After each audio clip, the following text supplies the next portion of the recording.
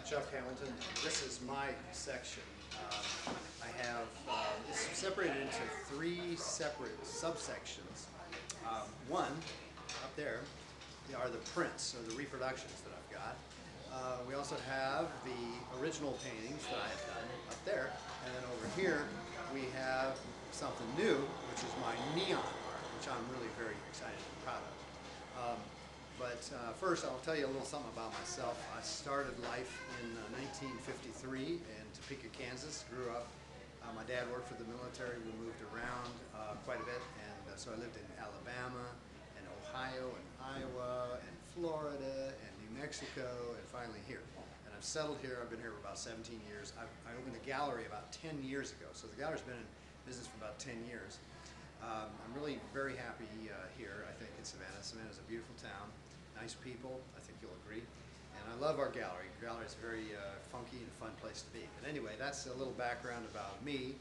Um, I also wanted to uh, mention that uh, I have certain kinds of interests, and that's what I kind of I tend to paint. Like, I love to paint ladies. Uh, I'm um, kind of have an affinity for the ladies.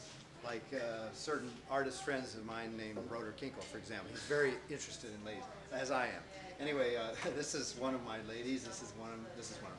And another thing that I love are airplanes. I, I have a love I have a love of airplanes, and I love to paint them.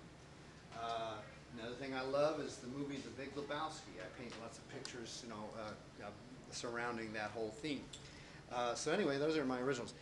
Um, now, also, um, you, if you look at the prints, print section, you can kind of see my history, and you can see what I what I've been doing for the last 15 years. And then when you look at the original sections, as I said up there, um, you can see what I'm currently doing. And then I've got something else that I'm doing right now that's really exciting to me, and that's the neon art. And these are uh, electroluminescent paintings uh, that you plug into the wall and they glow. So you'll see more about that as you go into the separate sections.